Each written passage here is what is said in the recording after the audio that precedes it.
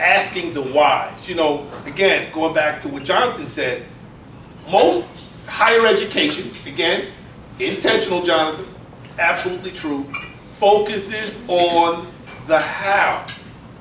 How to do this, how to do that, how to do the other. And again, I'm all, all for higher education, guys. But they don't teach the why. And so what ends up happening? People who know how end up working for or making less money than people who know why. Mm. So Greenlight's approach is all about the answers to the why. Again, is it nice to know how? Absolutely. But you better know why if you want to be the person holding most of the money at the end of that transaction. Otherwise, your pockets are going to be hanging inside out, and the guy or the gal that knows why is going to have most of the money. And so that's how it works. So yes, uh, Jonathan, the intentional, systematic, not racial, but economic um, uh, uh, illusion of what's important and priority and what's not is at the center of why we do this whole tour in the first place. You know, and why generally, why we haven't charged in two and a half years. Not one dime. We go on the road and spend, we spend a lot of money and then we come down to the local economy and let's put it this way, we support the local economy. Okay? Some malls get burned down, so if you see fire engines going, then you just say, okay, green lights in town. We, we have a good time, but it's all about empowering each and every one of you. Whether we have a coaching, rapport, relationship with you, with you, which we would love, or you just leave here tonight further empowered, I'll feel like I've done my job in terms of helping you get on the road to financial freedom. But you have to have a mentor. And again, and I'm talking to our people of color in the room. You're black, you're brown, you're beige. Um, you need mentors. You need a coach. I had a coach. Every year or two, I get a high-end coach. I just finished up a two-year uh, coaching relationship with Dr. Uh, Julian Sturt. You want to know what Julian Sturton is? He coaches people who run billion-dollar enterprises. He coaches the uh, Ambassador General of the United Nations, the, the CEO of Shell Oil. And of course, he's not cheap, okay? Um, but coaches have coaches. He doesn't coach me on the whole BMW thing, business, money, wealth. He's a leadership coach. He's a strategist. He changes my perspective to help be a better coach for my clients. And, and again, we have to invest in ourselves. So again, going back to Jonathan's point, if you want to have true literacy that's not in the same traditional vein, look, doing what you've always done will get you what you've always gotten. So if you're getting what you want, don't change a thing.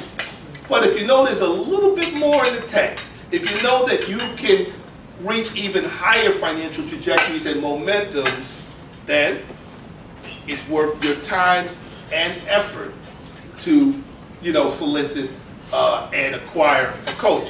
There's only two ways to succeed, and it's all about wisdom, right?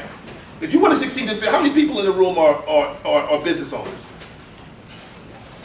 Pretty much 80% of the room.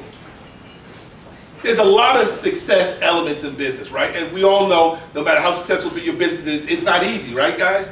You guys make it look easy, and the people who observe you say, wow, they envy you because they don't see all the hard work and the dedication and the sacrifice, and of course the money you put into the business. You know, maybe your credit got distressed when you first started the business. But the number one approach and success factor is you must acquire wisdom. Two ways to acquire it. You can go through the school of hard knocks, right? Very expensive.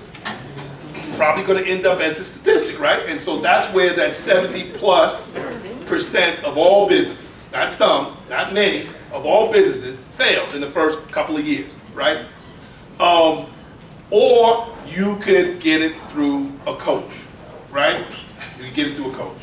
So that's a lot more uh, cost effective, less disruptive to your life and money, and uh, you're going to be more successful.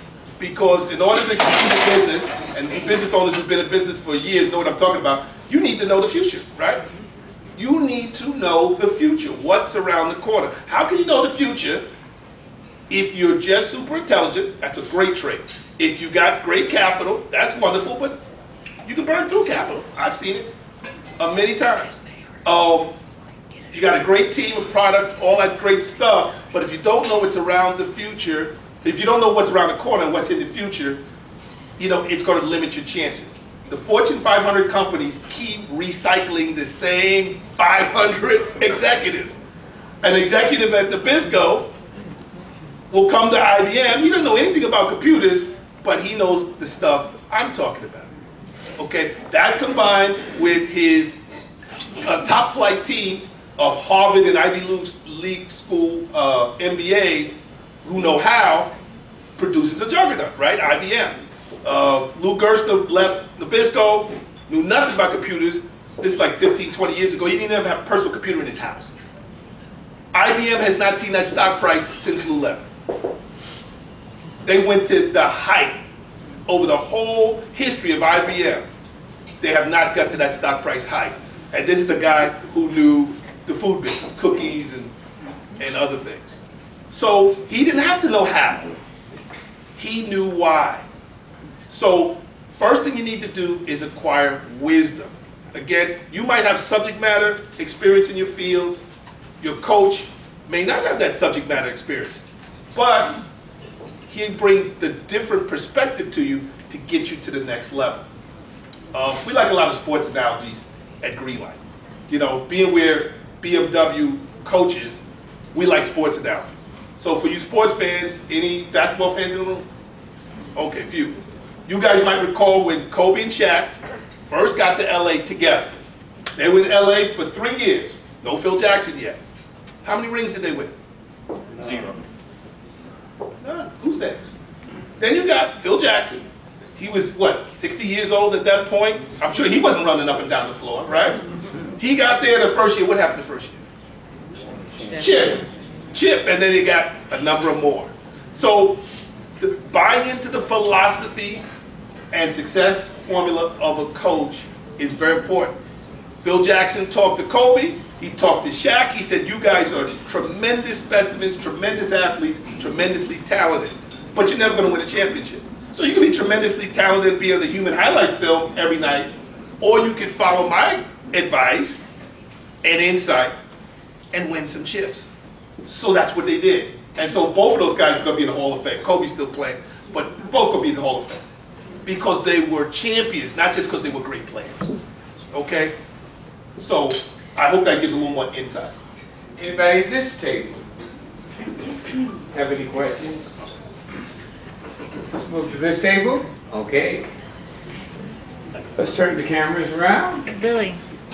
Uh, would you, um, um, also, everybody knows who Jonathan is. Just tell us who you are, what you do. Good afternoon. My name is Serena Anderson. I'm actually a program manager for Lockheed Martin. So I actually, when they were reading your resume, it actually sounded just like mine, except for that millionaire part. So- We're going to try to change that tonight. So my question is, what was the turning point for you? What was the point where you said, hey, you know, I've got the experience and everything, and I want to branch out and make Greenlight a success? Great question, Sabrina. Um, there were three turning points for me. First and foremost, I got laid off from my job.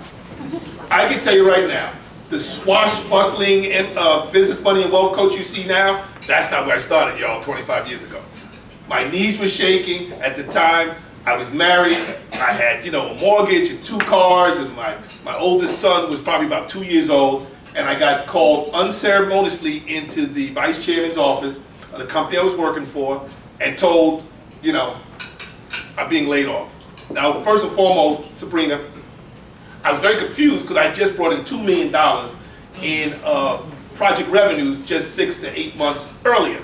I was like, well, take it out of that. That's $2 million, take it out of that. Grand, take it out of that. They weren't listening to me. So, my, so what I did was, my first motivation, Sabrina, I'm sorry guys, was revenge. Revenge. I'm going to show them you need something that's going to move you to where you're either going to win or you're going to die. Notice I say try. You either do or don't do. There's no such thing as try. You're either gonna do it or you're gonna die. But you're not going to, you know, Pheno, failure is not an option. So that's what got me there. So first was revenge. Then as I was bumping along and languishing and eating ramen noodles, I never want to see another box of ramen noodles ever again. Ever. You could do some very innovative things with ramen noodles, guys, which I'll share with you if you care to hear them. Ramen noodles could be like rice, you could make it like linguine, but I- I'm, not, I'm only being partially humorous. So I got tired of the languishing, but just because you're sick and tired of being sick and tired doesn't mean things are going to change.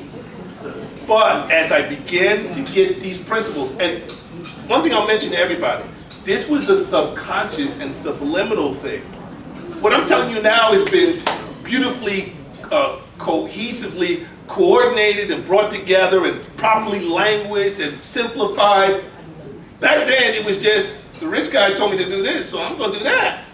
You know, or the rich lady told me to do that, so I'm going to do that. And I might not do the full execution of it, and I go, well, it didn't produce what you wanted. It was good, but and what did you do it on a Thursday under the blue moon? No, go back. And so I go back, and so I had a little laboratory to, to experiment with these principles. It wasn't until I retired and cashed out to eight figures 10 years ago, because I'm 53 years old, as this past August, um, that I said, how in the world did you do? You weren't rich. You didn't have the complexion for the connection, right? You didn't, y'all know what I mean. If not, think about it, it'll, it'll safely come to you on the way home. Didn't have the complexion for the connection, didn't have any money, didn't have any money, y'all. No money. You don't need money to make money. Stop believing the lies. You don't need money to make money. You need money to make more money. You can make millions of dollars with little to no money. And you can go through the pages of newspapers and magazines and go on the internet, you'll see thousands of examples of people who made millions of dollars with little to no money. So don't tell me you need money to make money. That's a racket. That's a background conversation. You need money to make more money. So you can start with little to nothing, bring it up to a certain level. At some point, you're gonna say, I, I need some money, y'all. Because I'm at half a million, I'm at a million. I can't make a dollar more because I need to hire people and da da da da da da. But you don't need money to make money. You need money to make more money. So at the end of the day, Sabrina, it was being laid off. It was languishing and saying, you know what, I need to be mentored. And again, it was kind of like Robert Kiyosaki's journey. Only he had one rich dad and one poor dad. His poor dad was biological, the rich dad was his neighbor, right? Well, I had one poor dad, my father, my biological father, he was a, um, a bus driver for the New York Transportation Authority for 25 years. Um, and then I had thousands of rich dads and rich moms. And that made the difference. And that's what this, this, this, this whole system is all about. It's the accumulated, streamlined, and simplified uh, uh, secrets of the rich. So, so that's what got me there. Was kind of like three milestones, and uh, and uh, they all had a different motivational level. Okay, let me see if there are any curious people at this table. Remember, we're, we're gonna get into creating wealth in the next segment. Okay, this sec, this table is very curious. Who are you?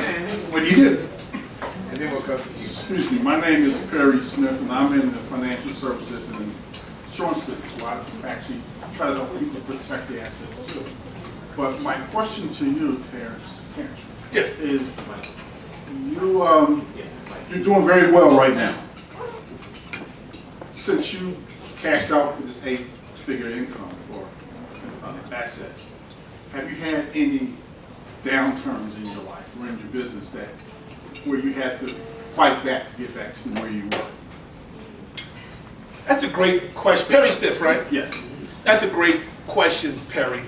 You know, being an entrepreneur is like a high wire act, right? It's like a high wire act. There's no such thing as you don't have some disappointments. Because if entrepreneurs, I have had entrepreneurs that told me, I've never had to worry about payroll. My answer, that you never had any payroll. I can tell you back in my computer business, which was doing about a million dollars every 10 days. Somebody asked me, what was your, your best day, you know, sales, revenue in one day, single day? I said, I remember it like yesterday. I said, because it was preceded by my worst financial day. The day before, I had a thousand dollars in my corporate bank account. Not any more zeros, guys. Don't think I'm, I'm being cute. A thousand dollars. And I remember one of my, my VP of sales, and you know, I was encouraging him, coded, beating him to bring in some money. And I hinted there might be a problem with payroll. And he was making like seven thousand a month base salary. I had acquired him from uh, Verizon Enterprise uh, division. And so that was like two weeks ago. And so it's coming up on payday. This is Thursday, payday's tomorrow. And so he just wanted to make sure everything's gonna be fine like it always is, right? Because they don't see all the drama, and you guys have payroll, know what I'm talking about, that goes on before payroll, you know? So he said, well, is everything gonna be fine? And I said, well, what do you mean by fine? We have a thousand dollars in our corporate account.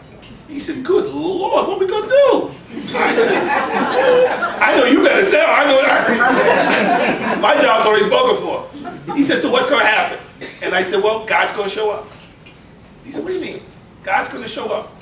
See, at your core, I'm not a religious person, but I'm a very spiritual person.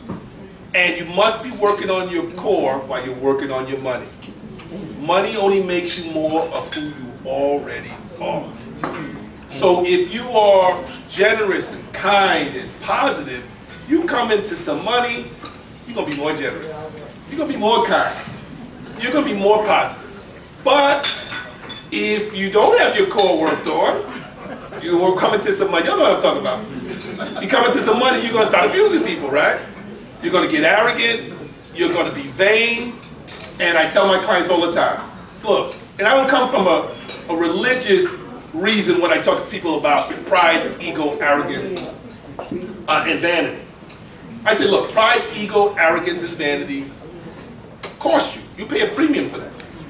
They'll make you do things in business you shouldn't be doing. And they will discourage you from doing the things you should. So they are not good for business. So it's not a it's not a morality thing, it's just they're not good for business.